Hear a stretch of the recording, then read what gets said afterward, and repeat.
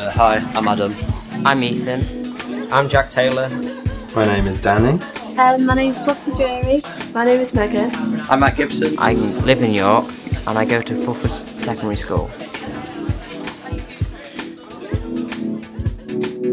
I think over the last couple of days, the students have just seen how easy it is to work with other students, both in the classroom and at home.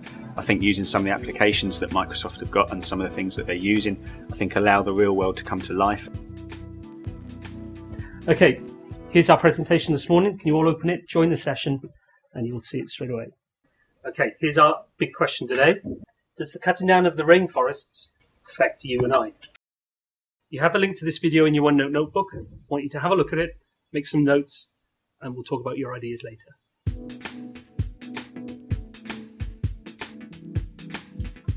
So this is going to be a video response on the effects of deforestation in Sintang, which is in Indonesia. I can mark out an area of um, this deforestation effects, and then we'll find out how many square miles um, it in fact is.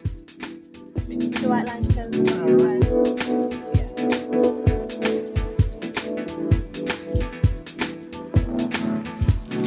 But this area, to give you some idea how big that is, it's twice the size of York.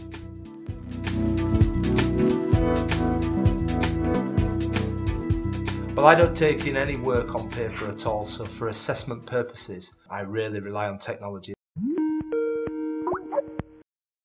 I'm just looking at your storyboard here. This is looking like a really good piece of work, but I just wonder how you can, uh, how long you're going to have each particular slide on, which makes up the movie. And I think just things like the Skype call with Indonesia was just fantastic to do, and it made them so relevant about what they were doing and how they could get something out of it. Hello guys. Can you hear me? Yeah. Yeah. Yeah, hello there in the back. I could even see that hand. Deforestation is not just changing the regional climate, it is changing the world's climate, and everybody pays the price for that. And it's hugely important. It's happening now. What's your prediction for the future of orangutans? People, yeah, you asked the good question. Last time somebody asked me, when will the orangutans become extinct? The future is very much in our hands. You can just ask him whatever you want to know. And you see how it affects real people.